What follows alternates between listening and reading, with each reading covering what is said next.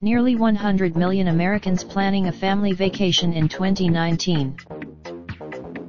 While the figure is slightly higher than last year, it still only represents about 4 in 10 US adults. According to the REIS, in fact, more than half 53% in 2019.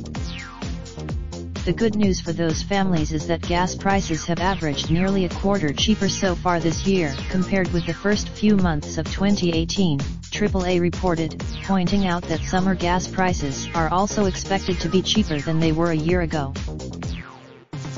The AAA Travel Survey also found that approximately two-thirds of all family travelers, 68% plan to enjoy a summer getaway. However, meanwhile, travelers in the South are more likely to be making plans for a family trip this year 62% compared to travelers in the Northeast 35%, the survey found. They.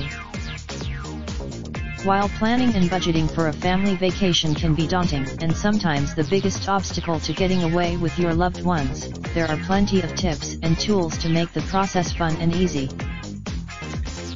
First, who can take the stress out of planning while also saving you money and ensuring you've got assistance in the event that something goes wrong. The S is also ex-.